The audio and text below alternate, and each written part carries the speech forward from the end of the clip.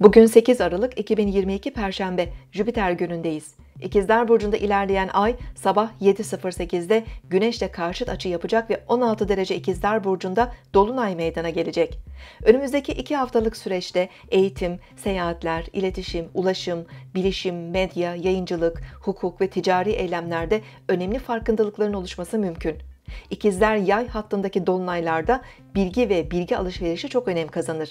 Dolayısıyla hem kendi hayatımızda hem de çevremizdeki haber trafiği yoğunlaşabilir. Duyacağımız haberler gerçek bilgi içerebileceği gibi yüzeysel, dedikodu ve magazin niteliği de taşıyabilir. Dolunayda Ay İkizler Burcu'nda gerileyen Mars'la birleştiği için stres ve huzursuzluğu arttırabilir. Enerjimizi kontrol etmekte zorlanabiliriz. Tepkisel ve dürtüsel davranmamız, tartışmalara açık olmamız, kaza ve sakarlıklarla karşılaşmamız mümkün.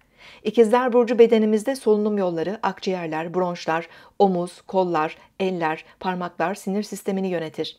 Bu bölgeler dolunay döneminde daha hassas olabilir. Bu nedenle kronik sağlık sorunları olanların özellikle dikkat etmesi gerekiyor. Mevsimsel virütik bulaşıcı hastalıklar yoğunlaşabilir. Dolunay ve yakınlarında kendimizi aşırı huzursuz ve heyecanlı hissedebilir, çabuk sinirlenebiliriz. Uyku sorunları artabilir.